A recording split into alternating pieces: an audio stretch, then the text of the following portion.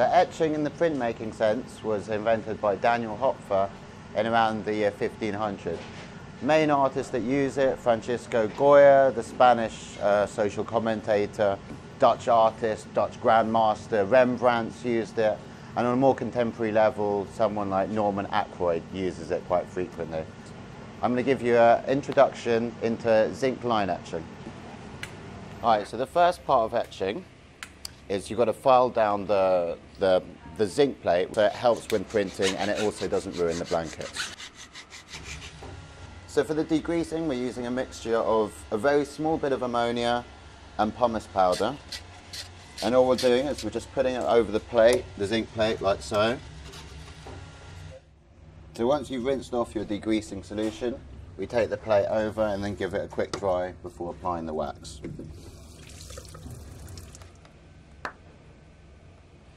Okay, I'm going to use um, hard ground wax for this. So put the wax on the hot plate like so. Take a roller, specifically for hard ground. Roll it, smooth it out, and then apply it to the plate. This will act as the resist when you uh, immerse the plate in the acid. Um, for the drawing part, we're going to use uh, just a standard etching needle onto the hard ground. You want it obviously sharp. The sharper you get, the finer the detail.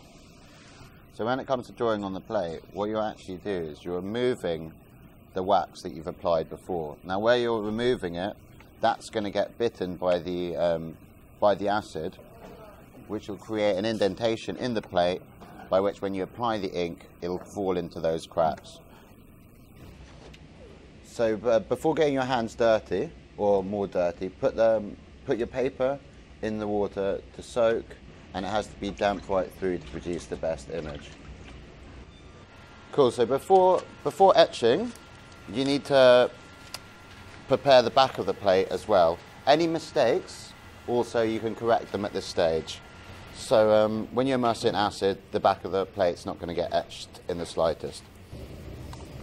All right, so we'll immerse the zinc plate, you draw an image into the acid like so, very carefully. I'm going to use a feather now to brush away any of the, the bubbles. Now, like I said, it's been two minutes. At that point, I'm going to remove the plate. Now, hopefully everything's gone to plan and uh, your etching's engraved into the metal. So we're going to clean off the resist with a bit of white spirit and uh, thus complete the etching of the image. All right, so after your paper's soaked for at least 10 minutes, place it in between the two blotters here. You want it to be damp, but you want to take off all the excess water. Um, so I moved over to somewhere a bit cleaner to start the inking up. I'm going to use black ink and we just smooth it over the plate. And once you've got it all covered, you're ready to start using a bit of scrim. This is the scrim, it's like a muslin, and you're just pushing in that black ink into the cracks, into your, into your image. Then we take a slightly cleaner bit of scrim, and we're going to start removing the excess. Um, once you've got it relatively clean and you're quite happy, then you're ready to start printing. So I'm going to bring this plate over to the press now. Bit of newsprint down first, and then you put your, your etching plate on top. Then as carefully as possible, take your paper, line it up, and place on top of the, of, on top of the zinc plate. On top of that, then get one more bit of newsprint, just to protect the blankets and place on top of that. Take the blankets and smooth out any creases. Once you're happy that the, the blankets are flat, you can start turning the wheel.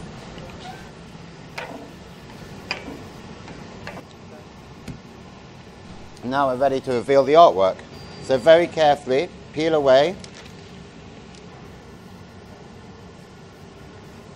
And there we go, the finished piece. So here we go, this is the final piece. This is a result of a brief introduction into zinc line etching